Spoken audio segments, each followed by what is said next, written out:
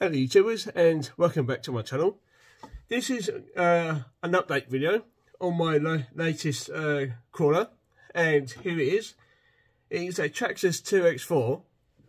Now you might be wondering uh, if I had one already and yes I have. So this is my second one and I bought this as a project uh, one and I got it quite cheaply, hence why the main reason I bought it is because I actually got this for the quarter of the price I bought my first one for. Uh, simply because it needed a few repairs to it, and I got it as a spares repairs. When I originally went to go look at it, I thought it was a sport, but it turns out it wasn't. It had the two-speed gearbox and the front and rear lockable differential. So it's an upgraded one of the sport it has just got the sport body shell on it. and I'll get to that in a moment. Um, but the reason why it was out for spares or repairs, effectively, is that the person who I got it from said that the ESC wasn't working, and when he last used it, is that it went up in smoke. So after I bought it, I can really smell uh, the smoke smell coming from the ESC. It, it leaves a bit of a strange smell behind on the ESC. So yeah, that does confirm that what he said to be true. Lucky for me, I had a Hobbywing 1080, so I put that on it, and it worked fine, perfectly fine. It moved forward, reverse, it steered. The two-speed gearbox, unfortunately, didn't work. Um, whether the last owner knew, knew that or not, I don't know, but it doesn't matter. It just turns out to be that the mini servo had uh, packed up as well. So, lucky enough, a friend of mine had a spare one sitting around doing nothing. So he kindly donated donated that to me. So I fitted it, and I'm pleased to say uh, the two-speed gearbox works fantastic. Goes into high and low gear perfectly fine now. It really was just that mini servo. The other things I have found since then, because I have stripped this down, cleaned it, and re-greased it and rebuilt it again. And the things I found, other than, other than then, there's two items, is that the front drive shaft, the small little pin, um, what connects the actual gear to the shaft, had bent and snapped out. So it was only a three-wheel drive uh, TRX4. Um, so I placed an order for a new one. And it also needed two front bearings as well. Uh, so at the same time as me ordering a new drive shaft, I had ordered two new bearings for the front portals as well. So they came and they fitted and they fitted perfectly. So now this is a fully running uh, two-speed with lockable front and rear differentials for the quarter of the price I bought for my Defender TRX4. Um, so that's the folks. So this is fully working. But since uh, fitting it Hobbywing 1080, I've since changed it, and I'll get to that in a moment. Starting with the body shell. No, in fact, no, tell I. I start with the controller. It did come with a standard Traxxas uh, controller, what comes with this uh, crawler. But I had a spare receiver for my GT5, um, so I fitted it to this. So purely because I can adjust my endpoints a bit more better with this than I can with the standard uh, Traxxas controller. The controller still works, but I just prefer this one. As well as me adjusting the endpoints, this feels nice in my hand whilst at crawling. So that's the controller out of the way. Uh, the shell has been changed to this uh, pickup truck and I'm planning to keep it as this because I do like the colour of it and the look of it on here. Um, there's another feature why I'm keeping it is because it has got the high trail uh, lift kit as well, meaning it's got the higher shocks, it's got the longer links, and it's got the new mount for the steering servo to bring it down because of the high lift on it. So that's another reason why I decided to keep this body shell because I want to keep the top end weight down low because of that high lift. So I'm very happy with the body shell and the high lift. What I've done to it since, apart from stripping it down, stripping it down, cleaning it, re-greasing it and putting it all back together again, is I've changed, um, I've changed the Hobbywing uh, 1080 and changed it to the hobby Hobbywing Fusion that I had in my Defender. The reason why I've done that is because the Defender now is the sport version uh, where it's a single gear and Nox diffs. So I thought that this would be more beneficial in this now. So that is in there. And in my next video, I did a test run on it, which I'd done before this one. So I already know what it drives like.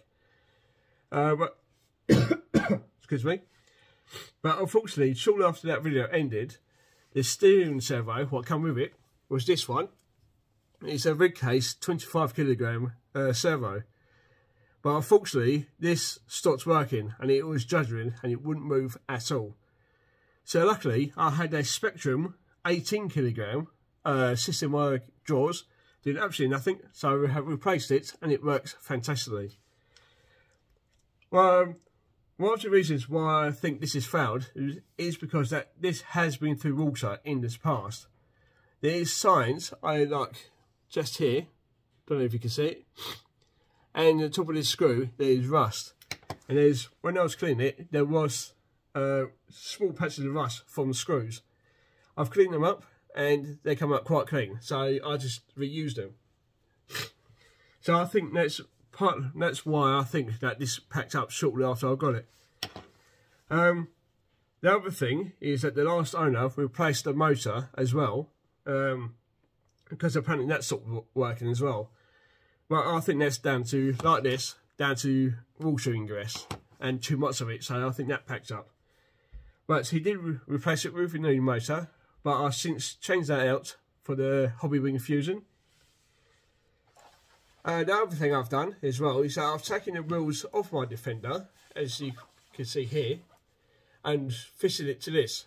Um, simply because I wanted the weight down low and I didn't have any other bead locks uh, to hand. So I took these ones off my Defender, I fitted them on here, and I did have a spare Duratrax uh, wheels as well, which are now fitted back onto the Defender, but they're not metal bead lock. They are just plastic, plastic wheels, and the tyres are glued on.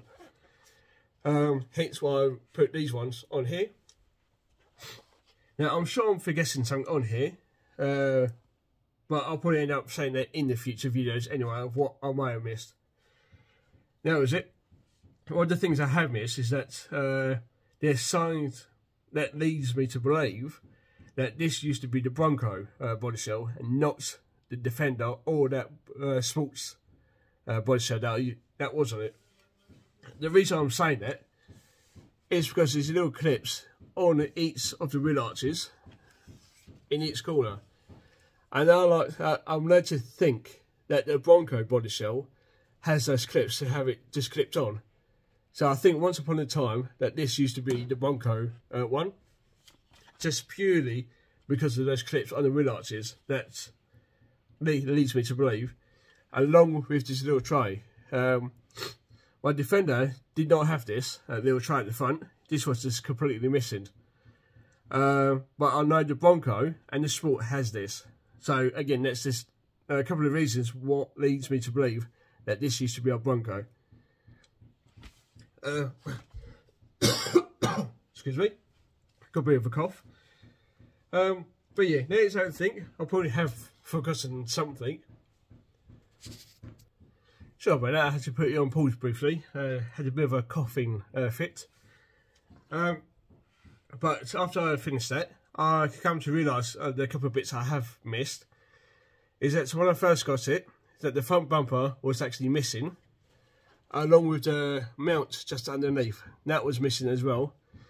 This bit unsure why that mount was missing, but as far as the bumper, that's probably missing to get a better angle approach from when he's out crawling. The rear bumper was also missing as well. But oddly, the bumper mount was still there. So, literally unsure where the front one was missing, but the, the back one was still there. Now, he also did come with the standard Traxxas wheels and tyres.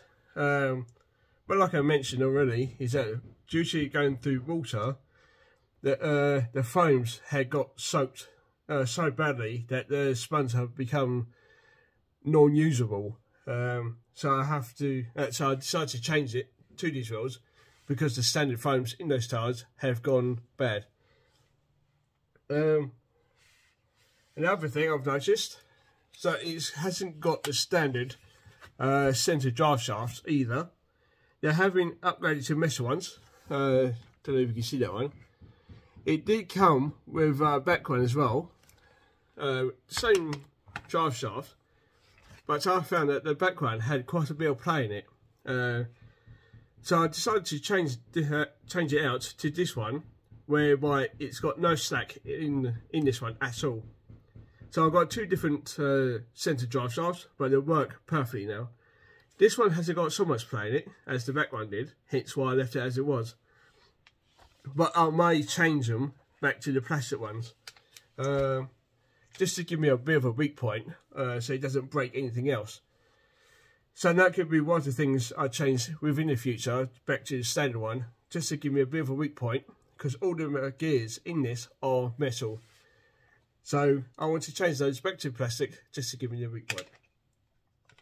So that is now all covered, and in my next video, uh, it'll be the first test run on, on my cheap uh, TRX4. And please bear in mind, it is running the 25 kilogram uh, servo, as you can see here, uh, not the Spektrum servo, what's in it now. I just wanted to point that because, uh, like I said, I've already tested this. I made a video of it already, so I know how this actually performs. So I'll see you in that video.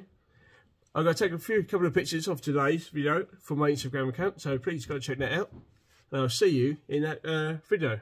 Bye for now.